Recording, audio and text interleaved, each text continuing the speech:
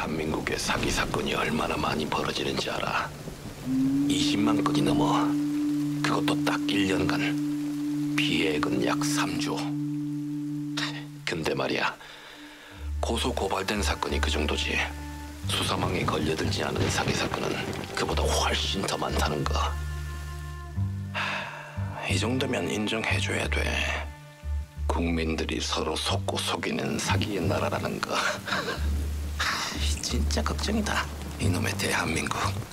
이런 아름다운 나라에서 그런 사람들을 상대로 사기란 걸 모르게 사기를 친다는 거 이게 이게 쉬운 일이 아니거든.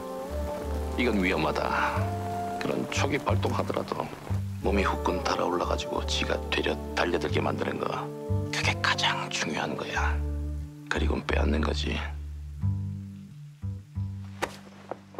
그 사람이 가진 모든 걸. 뭔 말인지 알지?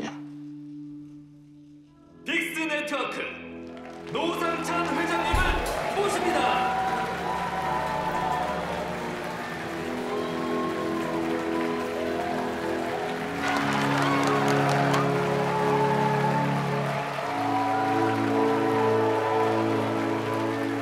네 여러분 반갑습니다.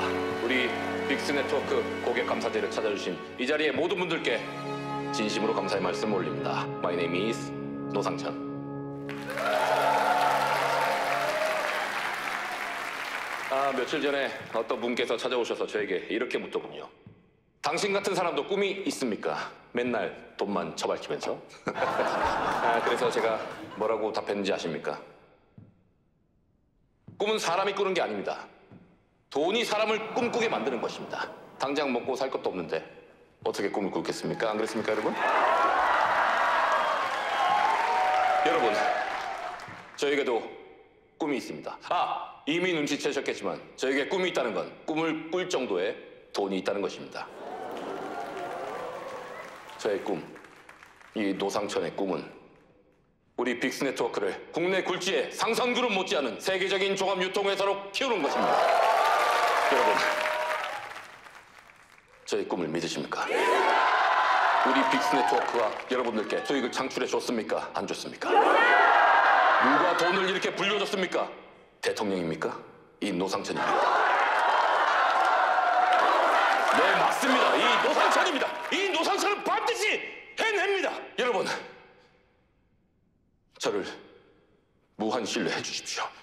사람과 사람 사이에 신뢰만큼 강력한 무기는 이 세상에 존재하지 않습니다. 저 노상천을 믿습니까? 믿습니다!